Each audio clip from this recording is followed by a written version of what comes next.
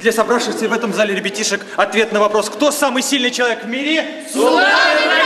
Это мой первый выход на ринг. Я хочу испытать чемпионский удар султана на себе. Так. Что чувствуется, сами? Боксер! Мы еще встретимся!